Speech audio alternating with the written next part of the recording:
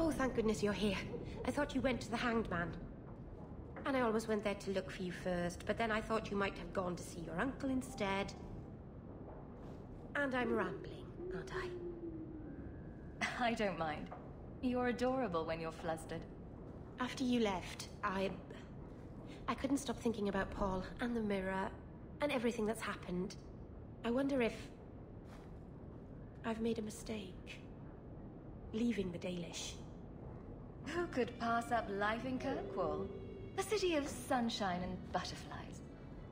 I suppose if I hadn't left my people, I never would have met you. I'm not like you. And I wish that I were. You're beautiful and clever, and you never make any mistakes. And I... I don't deserve you. Perhaps you don't. But I deserve you. Did you think of that? Did you call the Maker a dirty name, then? It's foolish of me to even dream that you might.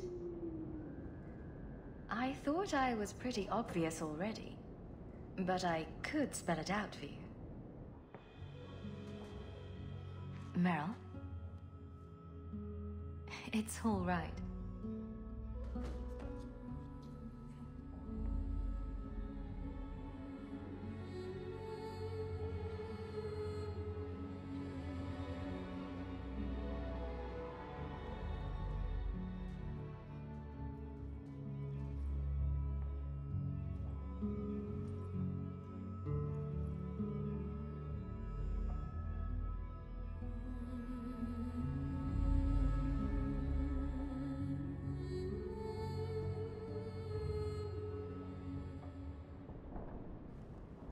What happens now?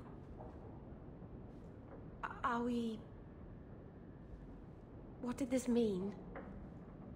You know, we might have to try that a few more times to really get the meaning. I love you. I probably shouldn't have said that, should I? I always say the stupidest things. Uh-oh. I was thinking of scandalizing the neighbors by having my Dalish lover move in. What do you think? Here, in Hightown, the rich, fancy part of the city with no rats in it. And you, with an elf.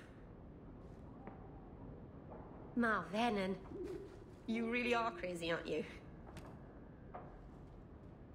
If you're not afraid, then neither am I.